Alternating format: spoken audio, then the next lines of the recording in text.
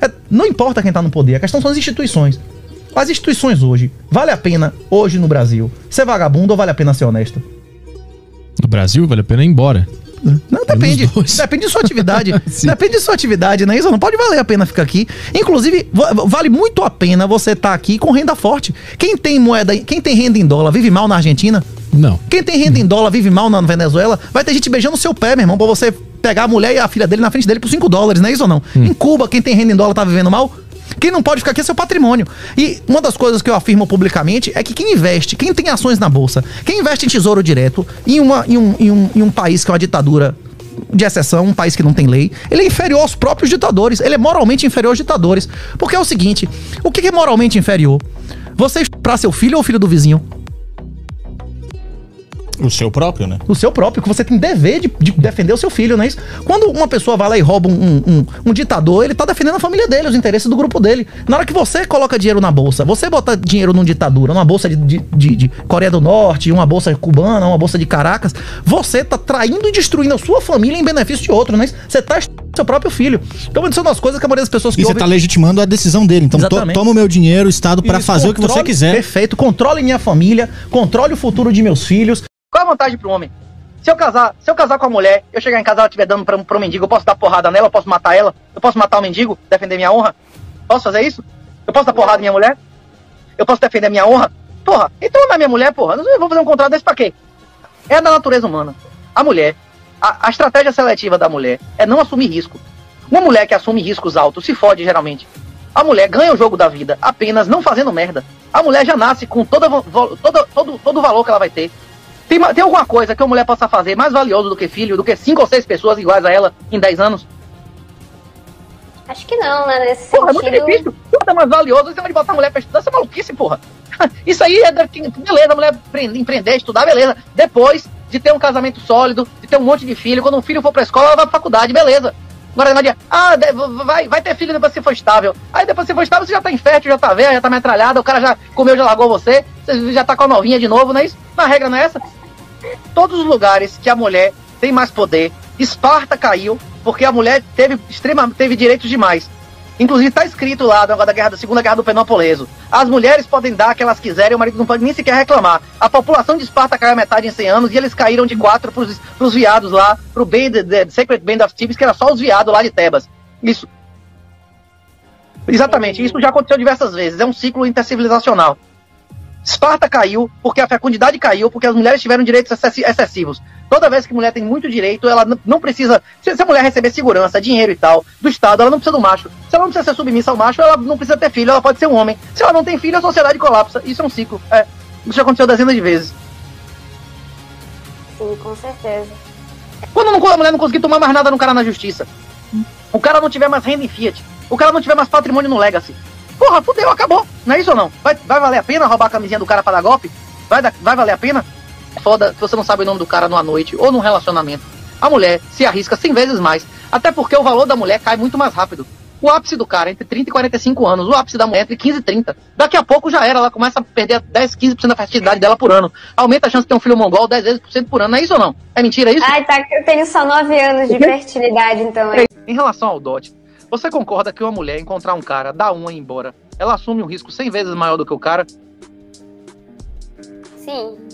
A mulher engravida, não é isso ou não? O cara engravida a mulher que ficar, ele vai se fuder? Ah, ele vai ter alguma perda financeira, ele tem risco de morrer parindo, hein?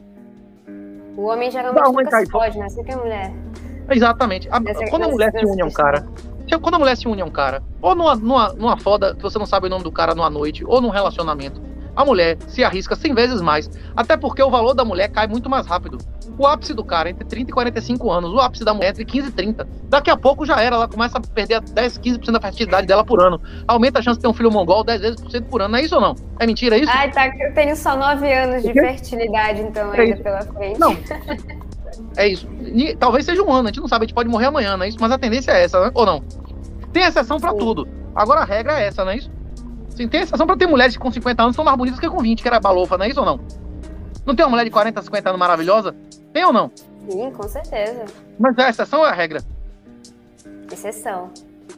Isso é melhor. Normalmente ela tá melhor com 20, né? Isso vai derrotando, não é isso ou não? É, É verdade. Isso. E a regra, a regra, não, é, agora é absoluto. Quando uma mulher e um cara se unem, quem assume mais risco?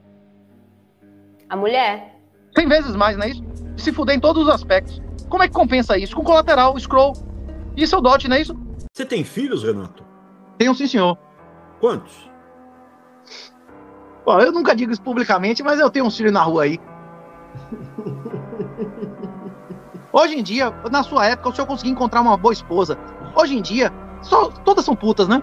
Desculpe a utilização do termo. Jesus foi muito claro. Em João 4, ele diz: Você nunca vai ser esposa de seu marido que você deu a quatro antes, né? Isso que Jesus falou. Em Mateus e Marcos, ele diz muito claramente: Se a mulher deu a um cara, se ela, a repudiada sem culpa, não pode recomeçar. Isso é a palavra de Jesus em vários evangelhos, não minha. A mulher deu pra um cara, ela tá inutilizada. Aí pergaminho hoje em dia inviabilizou casamentos. Mas não inviabilizou você engravidar uma mulher que você tem uma relação, mas namorado, uma prima, não é isso? Os contratos de. Hoje em dia eles chamam de contrato de coparentalidade, não é isso? Eles são viáveis ainda, você fazer aquilo bastardo ainda é viável, né? Legalmente. E as famílias vão voltar a ser viáveis quando o fé acabar. Hoje em dia, o Estado Social é uma máquina de tirar dinheiro de homem e dar à mulher. 70% do dinheiro do Estado é tirar de homens e dar à mulher, né? Isso 80% previdenciária de mulher, que vive 7 anos mais e aposenta 5 anos antes, e 80% do imposto de renda privado é homem que paga, né? Não vai acabar essa farra aí, vai ter que voltar, o empoderamento feminino. Você vai ter que Porque voltar. A primeira coisa que a mulher mal comida faz quando quer se livrar do cara é acusar o cara de, de, de, de atacar o filho. O filho de 2, 3 anos primeira coisa que você vai fazer é dar um grito e um tapa nela, pronto, vai preso. Não é isso não. Se você tá com a mulher que não tem filho nem nada, assim, né, ela é acusa você de é agressão. Assim. Pode acusar você de agressão Vocês estão tendo uma experiência Não é toda mulher que é assim, mas todo dia tem mulher que faz isso. Na minha assim experiência... todo dia tem uma que estupra. Na minha experiência... Pois é, mas o homem estupra não está sendo estimulado pela lei. E isso tá. Isso está sendo criado e estimulado pela lei. Ah, é, é, voltando a boa lei, eu vou juiz, não é isso ou não? Você, a, o, existe com qualquer tipo de lei. O, o, você pode diminuir ou aumentar a quantidade de falsa acusação, não.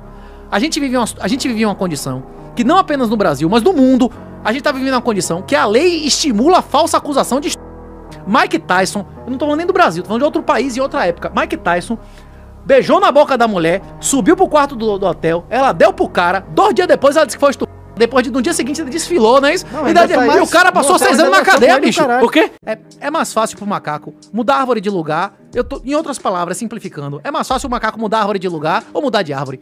É mais fácil mudar de árvore.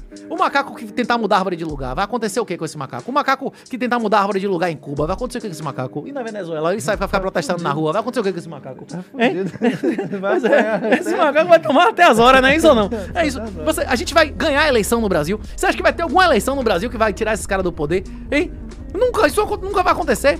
Os caras são dono de tudo, eles são dono do judiciário, dos partidos, de tudo, eles escolhem o candidato, escolhem tudo. Acabou, pô, não tem, não é eleição. Você, a única coisa que você pode fazer, você vai fazer um estado paralelo e vai, vai me dar testa com arma, não é isso? Eu tô fora, não conte comigo, não é isso? Não, vai morrer é sozinho, não é isso? Você vai virar lá ser insurgente, ou você pode comprar Bitcoin, as opções são essas, ou você compassa. As opções são três, não é isso? Você compassa, submisso, não é isso? Você comprar Bitcoin, ou senão você pega em arma e vai dar testa lá. Porque o resto é conversa fiada, não é isso ou não? Você acha, por exemplo, que o governo deveria controlar a educação? Você acha que o governo quer que seu filho seja independente, rico e inteligente ou ele que seja burro, pobre e independente? Claro, sim. O, o, o, governo controla a educação porque ele controla a moeda. Porque senão ele ia se limitar às coisas ao que ele tivesse capacidade de tributar, não é isso ou não? Uhum. Você acha que o governo devia regular casamento? O governo devia dizer o que, que você pode casar com uma mulher, duas e tal. Você acha isso certo? Ter lei de família? Quem devia julgar a família é o cara que tem a autoridade de casar. Seu Sim. padre, não é isso ou não? Sim. O pai, que é a pessoa que você convencionou. Hoje em dia, eu, é proibido o casamento do décimo mandamento. É ilegal o casamento verdadeiro da igreja. É proibido no Brasil, bicho. As regras que são impostas ao casamento hoje no país, e na maioria dos países. Por isso que, inclusive, os países que ainda reconhecem o casamento do Antigo Testamento, que são os países islâmicos, ainda reproduzem, não é isso? Mais um motivo pelo qual eu asseguro, eu afirmo que provavelmente, se as tendências se mantiverem, a maioria dos casamentos em 20 anos serão com dote. Você acha que o muçulmano vai entregar a filha dele de graça para você? Aristóteles e Platão já demonstraram a questão do 80-20. A maioria das pessoas são escravas pela própria natureza. E mais ainda hoje do que no passado, porque no passado a maioria das pessoas enterrava pai e mãe, enterrava filho. A maioria, as pessoas no passado, elas passavam por dor física, elas passavam por humilhação. As pessoas do passado não eram pessoas de geleia como hoje. Hoje em dia, o cara de 40 anos é uma criança, né? Você, como eu digo, os homens são mulheres e as mulheres são crianças, não é isso? Você não vai comparar uma menina de 13, 14, 100 anos atrás, era 100 vezes mais honra e mais mulher do que uma mulher hoje, uma, essas mães solteiras aí. Assim, mas voltando. Para você encontrar um cara que tem a honra hoje em dia, é um em 100, uma mulher, um em 10 mil. Hoje em dia, as, os homens são mulheres e as mulheres são crianças. É, o grande problema da política mundial é exatamente que você, você colocou pessoas que não têm nenhuma qualificação, não contribuem nada para a sociedade, são parasitas para ter a, são maioria. A, a, gente, a democracia é um condomínio onde o porteiro vota. O porteiro vai querer mais porteiro que o porteiro recebe um salário maior até o condomínio colapsar. Sem que, que se alguém não entender isso, procure o, o Deus que democracia, o Deus que falou de roupa. Isso é uma